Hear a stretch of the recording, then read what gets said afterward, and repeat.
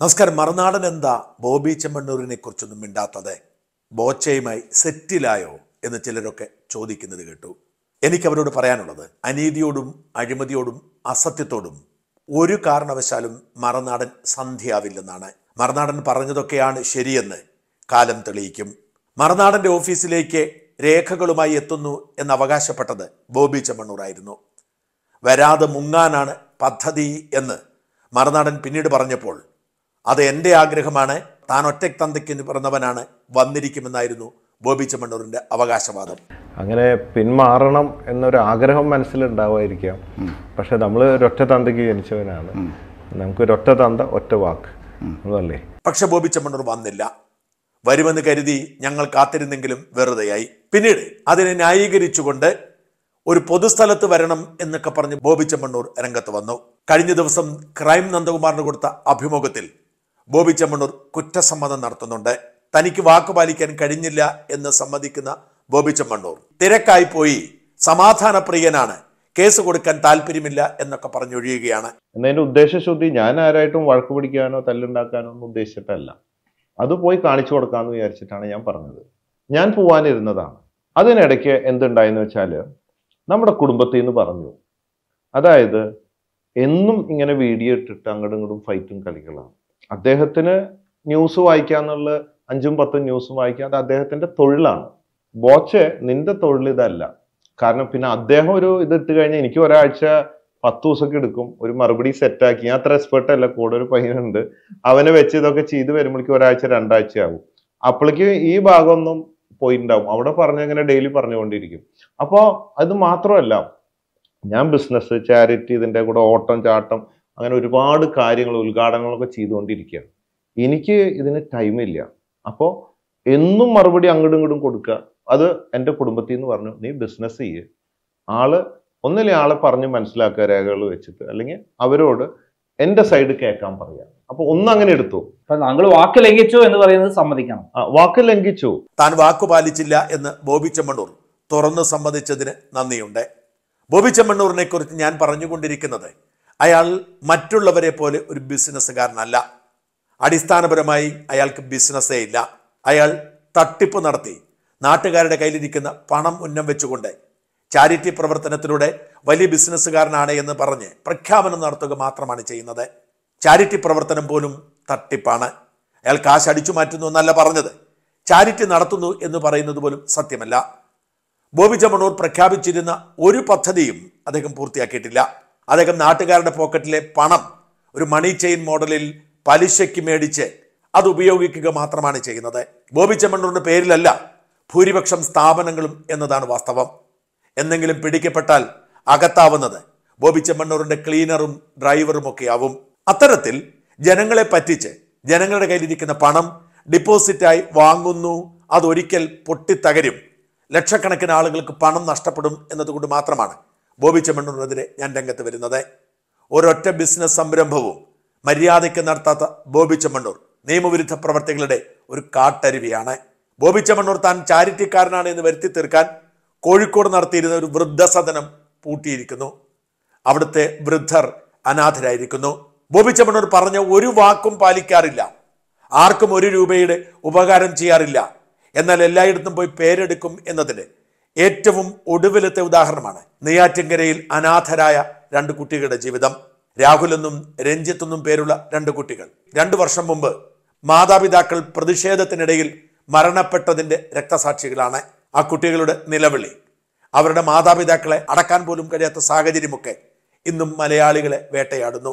അവർക്ക് ബോബി വീട് വെച്ചു കൊടുക്കും എന്ന് പറഞ്ഞതല്ലാതെ ചെറുവിരൽ അനക്കിയിട്ടില്ല. രണ്ടു കൊല്ലം കാത്തിരുന്നിട്ടും ബോബി ചെമ്മണ്ണൂർ തിരിഞ്ഞു നോക്കാതായപ്പോൾ ഫോൺ വിളിച്ചിട്ട് ബോബിയോ ബോബിയുടെ ആൾക്കാരോ എടുക്കാതായപ്പോൾ ബോബിയുടെ തന്നെ മുൻ ജീവനക്കാരിയായിരുന്ന എന്നാൽ പിന്നീട് ബോബിയോട് തെറ്റിപ്പിരിഞ്ഞ് സുവിശേഷ പ്രസംഗയായി നടക്കുന്ന ജിജി മാരിയോ ഒരു വാശി എന്ന നിലയിൽ വീട് വെച്ചു കൊടുത്തു.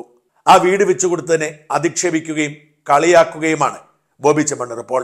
ബോബി ചെമ്മണ്ണൂറിന് വീട് വേണ്ട എന്ന് പറഞ്ഞ് നിയമവിരുദ്ധമായി അവർ വീട് വെച്ചെന്നും നാളെ ബോബി ചെമ്മണ്ണൂർ കേസ് കൊടുത്താൽ ആ കുട്ടികൾക്ക് അവിടെ നിന്ന് ഇറങ്ങേണ്ടി വരും എന്നൊക്കെയാണ് ബോബി ചെമ്മണ്ണൂർ പറയുന്നത്. വാസ്തവത്തിൽ ബോബി പറയുന്നതെല്ലാം കള്ളമാണ്. മാതാപിതാക്കൾ മരിച്ചതിന് ഏഴാം ദിവസം അവിടെ ചെന്ന് വീട് വെച്ചു കൊടുക്കും എന്ന് പറഞ്ഞ് പേരെടുത്തതല്ലാതെ ബോബി ചെമ്മണ്ണൂർ ഒന്നും ചെയ്തിട്ടില്ല ചെയ്യുകയുമില്ല. വയനാട്ടിലെ കളക്ടർ ഭീഷണിപ്പെടുത്തി ഇടയ്ക്ക് ഭൂമി വാങ്ങി വീട് വയ്ക്കാൻ ചിലർക്ക് കൊടുത്തത് ഒഴിച്ചാൽ ബോബി ചെമ്മണ്ണൂർ ഇന്നേ വരെ മര്യാദയ്ക്ക് ആരെയും സഹായിച്ചിട്ടില്ല. ബോബി ചെമ്മണ്ണൂർ ചെയ്യുന്നതെല്ലാം പേരെടുക്കാനും തന്റെ ബിസിനസ് സാമ്രാജ്യം വിപുലപ്പെടുത്താനുമാണ്. ഈ കുട്ടികൾ കണ്ണീരോടെ ബോബി ചെമ്മണ്ണൂറിന്റെ ചതിയെക്കുറിച്ച് പറയുന്നത് പ്രേക്ഷകർ കേൾക്കാതെ പോവരുത്. ബോബി ചെമ്മണ്ണൂരിനെ ഇപ്പോഴും ദൈവമായി മാലാഖയായി കൊണ്ടു നടക്കുന്നവർ ഈ കുട്ടികളുടെ വാക്കുകൾ ചെവി കൊടുത്ത് കേൾക്കുക. ബോബി ചെമ്മണ്ണൂർ ഫ്ലവേഴ്സ് ചാനലിലോ അല്ലാതെ ന്യൂസ് ചാനലിലോ ഒക്കെ പോയി പറയുന്നു ഒരു വ്യക്തി വന്ന് തട്ടിക്കൂട്ട് വീടുണ്ടാക്കിയെന്നത് സത്യം പറഞ്ഞ ഈ വീട് എന്നെ സംബന്ധിച്ചിടത്തോളം സ്വർഗമാണ് ഫിലോക്കാലിയ എന്ന് പറഞ്ഞ ഫൗണ്ടേഷൻ അവരെന്നെ മകനെ പോലെ കണ്ട് ജിജിയും മാരിയും എന്നെ മോനെ പോലെ കണ്ട് ഞങ്ങൾക്ക് കുറച്ച് സാമ്പത്തികമായി സഹായിച്ചു. ആ പൈസയ്ക്ക് എന്റെ ഇഷ്ടത്തിനാണ് ഞാൻ ഈ വീട് പണിതത്. പുള്ളിക്കാരനത് ഒരു തട്ടിക്കൂട്ട് വീടെന്ന് തോന്നിക്കാണും. ബോച്ച ഇങ്ങനെ പറയാനുള്ള കാരണം എന്താണ്? ബോച്ച ഇങ്ങനെ പറയാനുള്ള കാരണമെന്ന് വെച്ചാൽ അദ്ദേഹം അമ്മയച്ഛനും മരണപ്പെടുന്ന സമയത്ത് വസന്ത എന്ന സ്ത്രീക്ക് അഡ് അമ്പതിനായിരം രൂപ അഡ്വാൻസ് കൊടുത്തു. കൊടുത്തിട്ട് ഞങ്ങളുടെ പേരിൽ ഈ സ്ഥലം എഴുതി വാങ്ങിച്ചു കൊണ്ടുവന്നു ആ സമയം ഞങ്ങൾ ഇത് വേണ്ടെന്ന് പറഞ്ഞു. വേണ്ടെന്ന് പറയാനുള്ള കാരണം ഇത് കോളനി സ്ഥലമാണ്. കയ്യിൽ ക്രൈം ചെയ്യാൻ പാടില്ല. അതായത് വിൽക്കാനോ വാങ്ങാനോ പാടില്ലാത്ത ഭൂമിയാണ്. അതുകൊണ്ടാണ് അന്ന് അദ്ദേഹത്തോട് വേണ്ടെന്ന് പറഞ്ഞത്. അദ്ദേഹം അത് കേട്ടപ്പോൾ ഈ അദ്ദേഹത്തിന്റെ അടുത്ത് പേഴ്സണലായി മാറ്റി നിർത്തി ഞാൻ ആ കാര്യം പറഞ്ഞതാണ്. അപ്പോൾ അത് കേട്ടപ്പോൾ എന്റെ അടുത്ത് പറഞ്ഞ് വേറൊരു ദിവസം വരാം. കോണ്ടാക്റ്റ് ചെയ്യുമെന്ന് പറഞ്ഞ് നമ്പരും തന്നു. അതിനുശേഷം പുള്ളിയൊക്കെ പലവട്ടം വിളിച്ചിരുന്നു. ഫോൺ എടുത്തിട്ടില്ല. പിന്നെ ഇപ്പോൾ ഇതേപോലെ ന്യൂസ് ചാനലിൽ ഞങ്ങളെ പറ്റി മോശമായിട്ട് പറയുന്നു. എനിക്കൊരപേക്ഷയുള്ള ബോച്ചയോട്.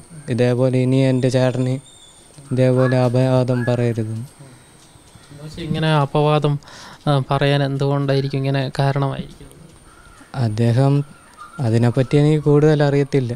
അദ്ദേഹത്തിന് അന്ന് നാണക്കേടായി എന്ന് കുറേ പേര് പറയുന്നു. ഞാൻ ധിക്കരിച്ച് പറഞ്ഞെന്ന്. അന്ന് എനിക്ക് പതിനേഴ് വയസ്സേ ഉണ്ടായിരുന്നുള്ളൂ. അപ്പോൾ ആ ഒരു പ്രായത്ത് അച്ഛനും നഷ്ടപ്പെട്ടിരുന്ന സമയത്ത് ഞാൻ കുറച്ച് ദേഷ്യത്തോടെയാണ് പറഞ്ഞത്. വിൽക്കാനോ വാങ്ങാനോ പാടില്ലാത്ത ഭൂമിയല്ലേ? അനധികൃതമായി ഇതേപോലെ പെട്ടെന്ന് ഇല്ലീഗലായി ചെയ്തുകൊണ്ട് ഞാൻ ഷൗട്ട് ചെയ്തു. അതായിരിക്കാൻ കാരണം. അപ്പോൾ ബോച്ച അഡ്വാൻസ് കൊടുത്തു. എന്നിട്ട് സ്ഥലം?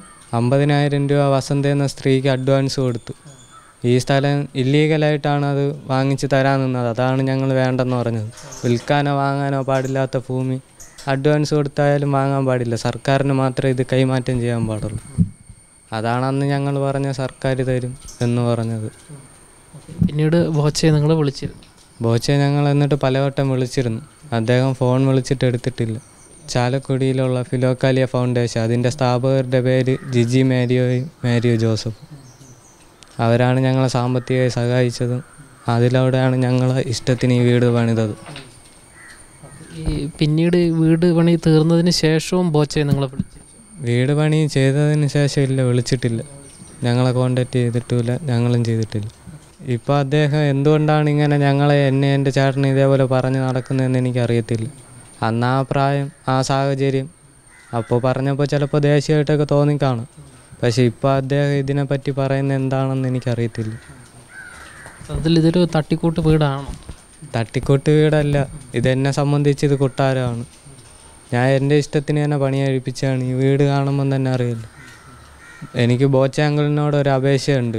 ബോച്ചാങ്കിൾ തട്ടിക്കൂടല്ലാതെ പണിത് കൊടുത്ത ഒരു പത്ത് വീടിന്റെ ഫോട്ടോ അങ്കിളിന്റെ ഫേസ്ബുക്ക് പേജിൽ ഒന്ന് ഷെയർ ചെയ്യണം. എനിക്കൊന്ന് കാണാനുള്ള ആഗ്രഹമുണ്ട്. അദ്ദേഹം ഇതേപോലെ കുറേ പാവങ്ങളെ സഹായിച്ചു എന്ന് പറയുന്നില്ലേ? അപ്പോൾ തട്ടിക്കൂടല്ലാതെ ബോച്ചയങ്ങൾ വെച്ചു കൊടുത്ത ഒരു പത്ത് വീടിന്റെ ഫോട്ടോ ഫേസ്ബുക്ക് പേജിൽ ഷെയർ ചെയ്യണമെന്ന് എനിക്കൊരു അപേക്ഷയുണ്ട്.